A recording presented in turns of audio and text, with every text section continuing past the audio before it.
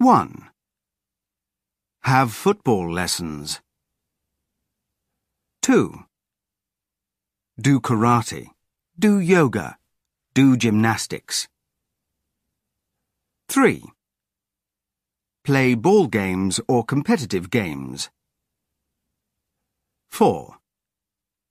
Go swimming. Go walking. Go climbing. Go skiing. 5. Practice a sport. 6. Take up a sport.